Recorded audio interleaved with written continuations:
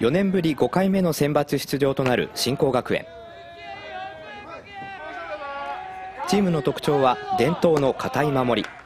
その中心はエース前中正史投手です。去年秋の公式戦12試合に先発し防御率は1.52カーブ、スライダー、フォークを交えて少ない失点に抑えることができます。守り勝つ野球を28年間指導してきた北原光弘監督甲子園で勝ち上がるにはそれだけでは足りないと考えました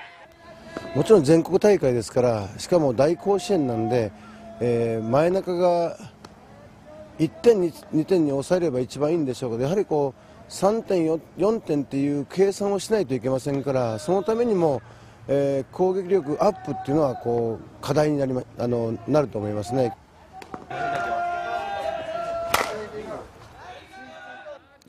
そこでチームが取り組んだのは新しいバッティングフォームの導入です。チームのバッティングの課題は縦に変化するスライダーやフォークボールで打ち取られてしまうことでした。その対策として足元から振り上げて低めの変化球に対応するいわゆる縦スイングを取り入れました。からもう単発でパーンって払うだけ。前で。一緒に行くから。指導するのは監督の息子でコーチの北原直也さんです。自身が社会人野球で得たバッティング理論を取り入れました。落ちるボールっていうのはやっぱり高校生でもしっかり掘ってきますんで追い込まれてからボール球のスライダーでも膝を使ってしっかり拾えるといいますかそういうバッティングができますんでその辺が特にあの利点だと思ってます。従来のスイングと比較しますこれまではバットを寝かせてホームベース上をほぼ水平にスイングしていました。こちらが新しいスイングフォーム。バットの先を下げ地面すれすれから垂直方向に振ります。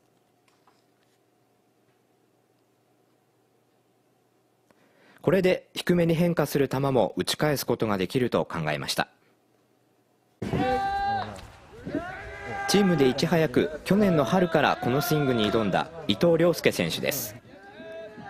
低めの球に強くなっただけでなく飛距離も伸び高校通算61本のホームランを打つ強打者へ成長しました。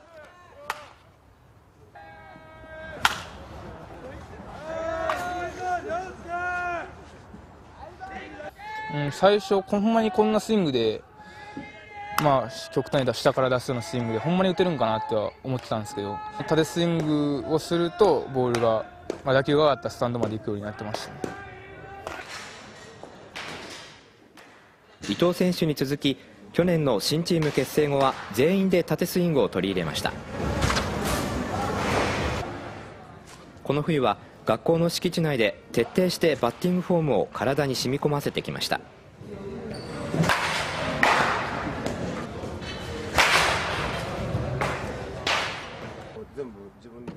今月5日からは選抜を前に強化合宿を始めました。自分を追い込むそこまでやらないと甲子園で打てないっていうぐらいのつもりでやらないと意識を高めてやってくれ。いいかな？はい、はい、練習時間の半分以上をバッティングに充てました。低めに対応できることで選手たちはカウントが追い込まれても積極的に打てるといいます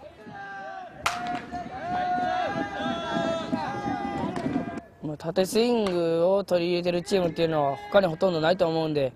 やっぱりこう僕たちがこう今まで教わってきた縦スイングをしっかり甲子園でやって、まあ、こういうスイングもあるんやっていうのを、あのー、ま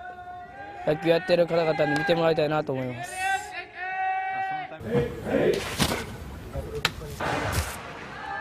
チーム一丸となって新しいスイングに挑んだ新興学園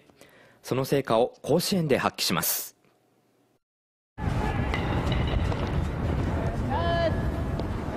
チームを支えるのがキャッチャーの小崎博之師匠です。その魅力は盗塁を阻止する矢のような送球。遠投 100m を超える強肩と素早いフットワークで秋の公式戦10試合で許した盗塁はわずか1つ。幾度となくチームのピンチを救いました。キリキリしていきましょう。守備の要であるキャッチャーとしてまたチームをまとめるキャプテンとして小崎首相が大切にしている言葉があります。この笑顔はいどんな思い？はい。どんなまあピンチの時もまあ僕がまあ笑っ笑ってたって変ですけど、まあ、そういう雰囲気でいたら、まあ、みんなも落ち着くと思う。はい。いいと思いますなぜ笑顔を大切にしているのかそこには理由がありました。去年の秋の近畿大会準決勝これまでエラーが1試合平均1つ以下だった守備が突然乱れます。1つのエラーをきっかけに歯車が狂いこの試合だけで5つのエラーを記録。小崎首相の表情からも笑顔が消えてしまいました。エラーしたら負けるってことは今まで分かってたんですけどみんな焦ってて僕もしっかり声かけられなくて周りが見えてなかったと思います。チーム全員の表情が沈み結局はコールド負けとなってしまいます。みんな元気出してもうちょっと頑張ろう。この試合が教えてくれたことそれは苦しい時こそチームを明るく引っ張ることでした冬場の辛く苦しい練習の時こそ笑顔で取り組むその姿勢は次第にチームメートに浸透し秋の悔しさを乗り越える大きな存在になりました。小崎さんの元気とかもうその表情とかでももうチームを一変させることもできますし頼りになります。こいつがやっぱ司令塔なんで、まあ、こいつがまあ笑ってやったらもうチームみんなちゃんとややれると思いますそう思ってくれたら、はい、嬉しいです。ねそしてあの試合がもう一つ教えてくれた守備の大切さ。そのために宇崎監督は速い打球ではなく徹底的に緩い打球を取らせる練習を繰り返してきました。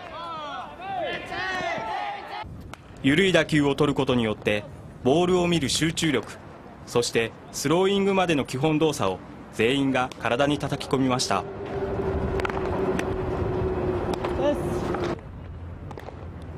守備の基本を、まあ、冬場かなりやってきたつもりをしてますのでゴロを取るフォームそのものもだいぶ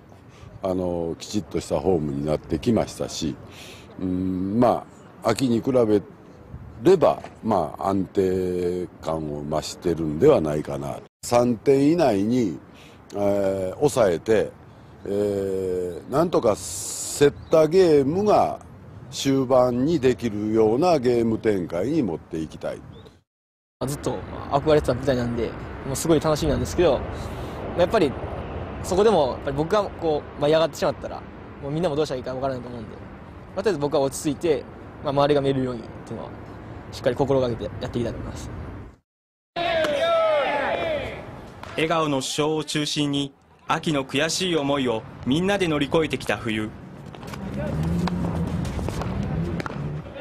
守り勝つ野球でこの春甲子園初勝利を目指します。